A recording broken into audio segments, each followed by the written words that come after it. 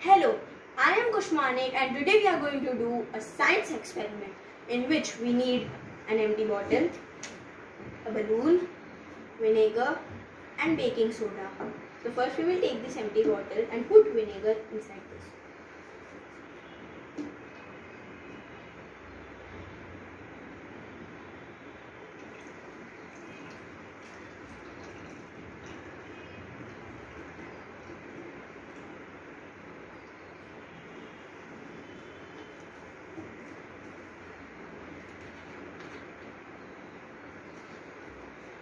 Now we will take this balloon and put baking soda inside this.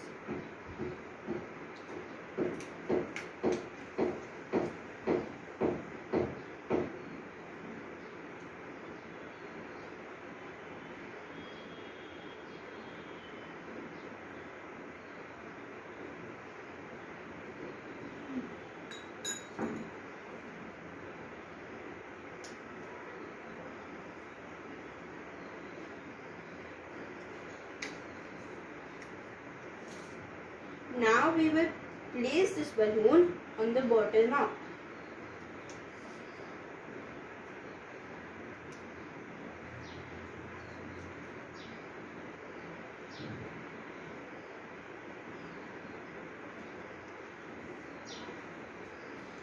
Like this. And now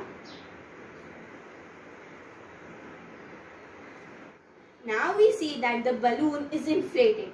So, from this experiment, we come to know that baking soda plus vinegar gives out water plus sodium acetate plus carbon dioxide and the carbon dioxide helps the balloon to inflate. Thank you.